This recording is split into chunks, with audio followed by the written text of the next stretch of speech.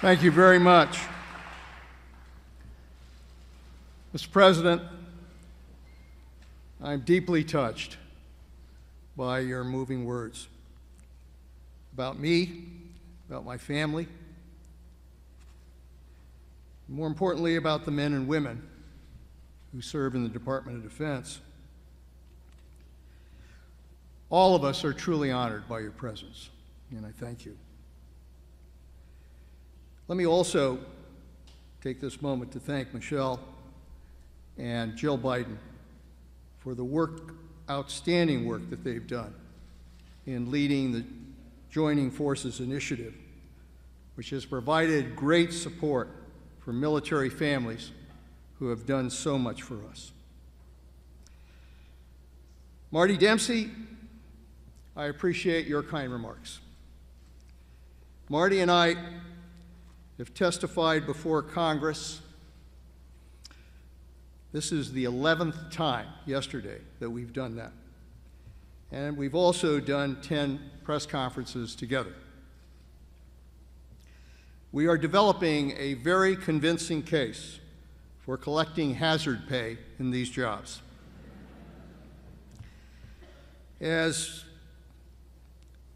we used to say when I was in the Army, there isn't anyone I'd rather be in the foxhole with than Marty Dempsey. I cannot tell you what a privilege it has been to work with you and to work with all of the service chiefs.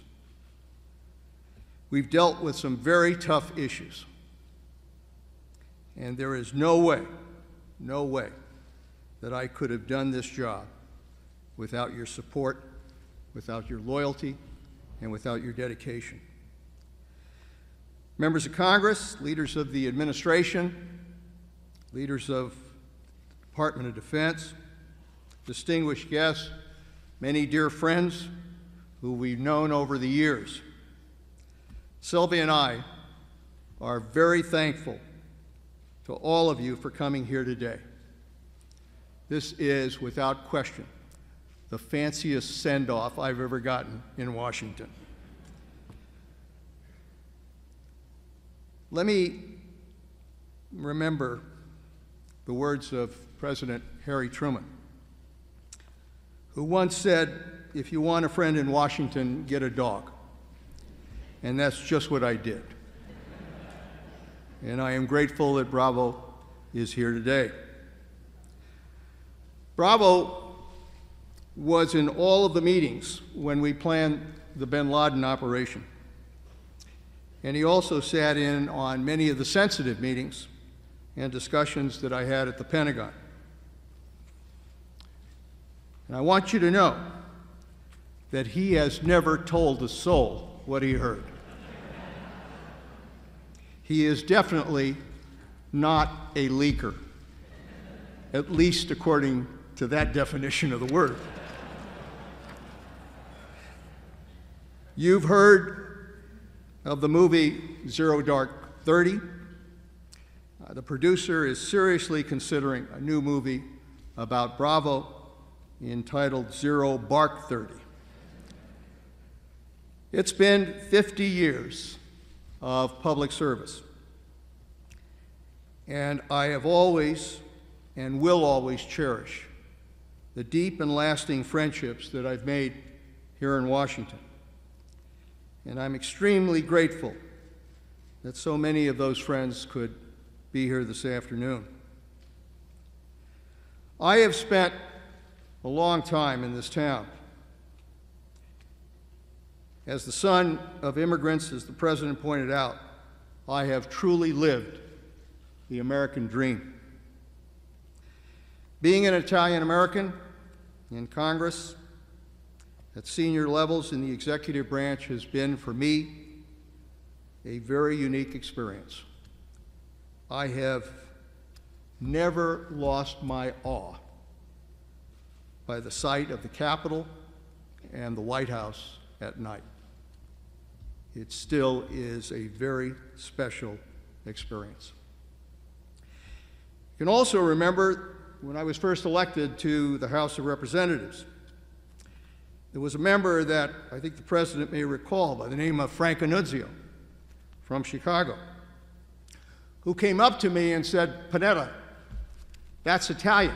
I said, Yes, it is. He said, Good. He said, I want you to join the Italian caucus. Of course, I was not going to say no to an Italian from Chicago. He said, Great. He said, We don't do much on issues, but we eat good. and that was true. Many years later, when I came to Langley as President Obama's Director of Central Intelligence, I got a mug from my family with a big CIA standing for California Italian American. In all seriousness, Mr. President, I want to express my deepest thanks to you for the opportunity to serve this country again as a member of your administration. It has been a tremendous honor and a tremendous privilege these past four years, and especially now as the 23rd Secretary of Defense. I hope that in some small way I have helped to fulfill the dream of my parents. The dream that they wanted, and the dream that all of us want of giving our children a better life. It's been, for me, a hell of a ride. I will never forget the pride and exhilaration when I walked out of the White House after the President announced the success of the bin Laden operation. And I could hear the chants of those people who were gathered around the White House and in Lafayette Park yelling, USA, USA. Thank you, Mr. President, for your strong support in what was a very tough decision. The memory of that operation and the team that helped put it together, both the intelligence team and the military team, will be with me forever. I'll remember traveling to combat theaters and bases around the world, looking into the eyes of brave men and women who are putting their lives on the line every day for this country.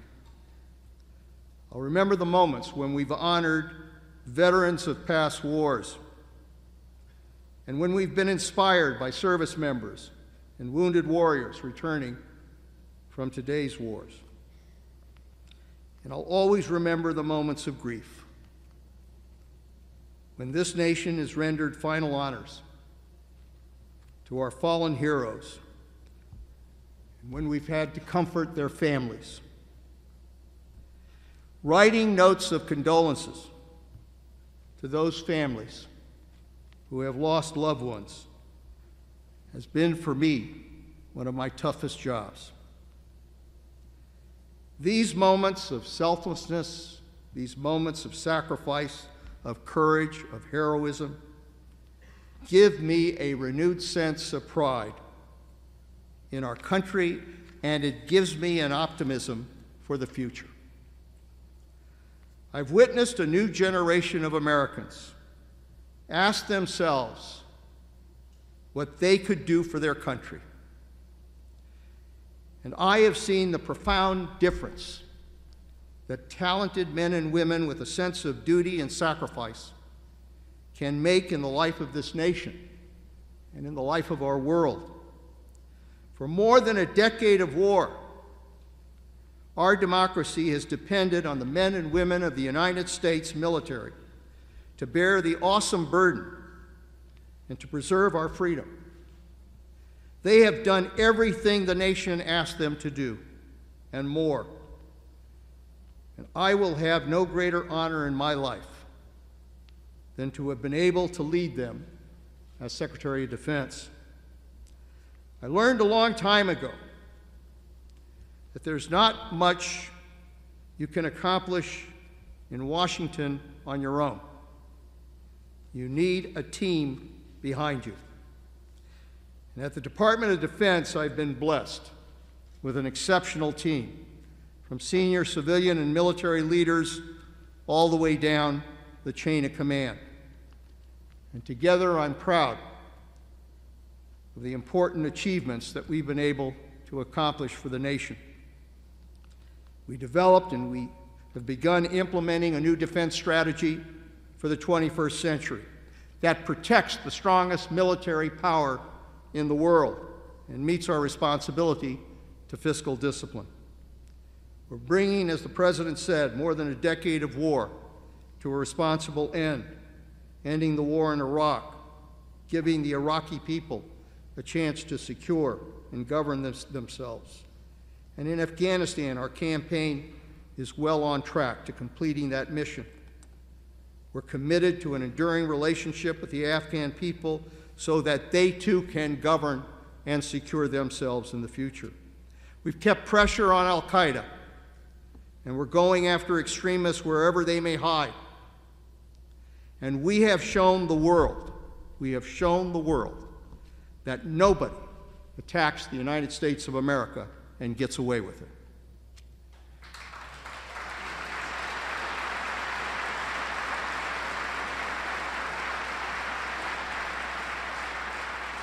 We are keeping faith, keeping faith with and, and caring for our returning veterans and wounded warriors.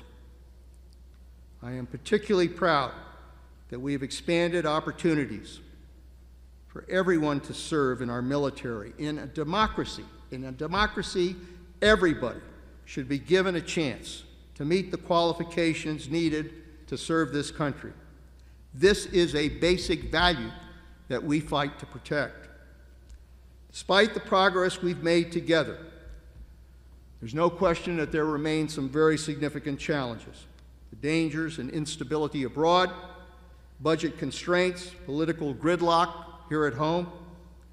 But one thing I have learned is that you cannot you cannot be involved in public service and not be optimistic about the future.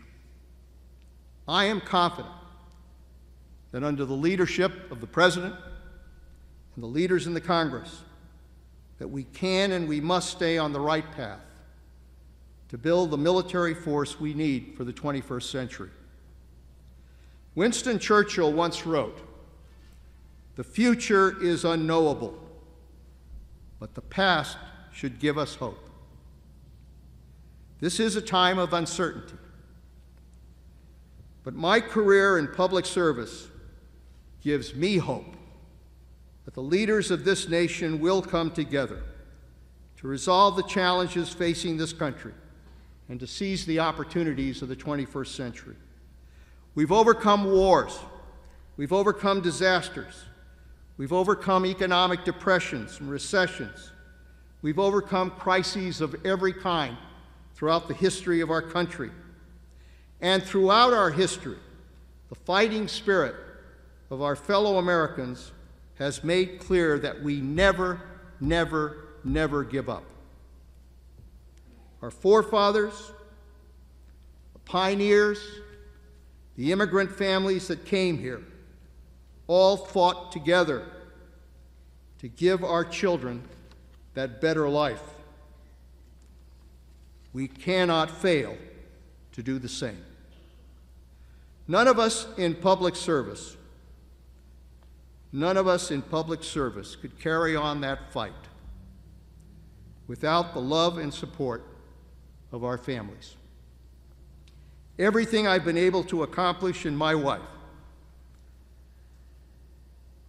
in my life, wife and life together, has been because of the support of my family my immigrant parents, my family, my sons, their families, but most of all, Sylvia. We've been married 50 years. She has endured extended absences and long hours and the demands that come with public service. But she has always been there. And I will never be able to thank her enough for her constant love and support. Her Valentine gift is both of us going home together.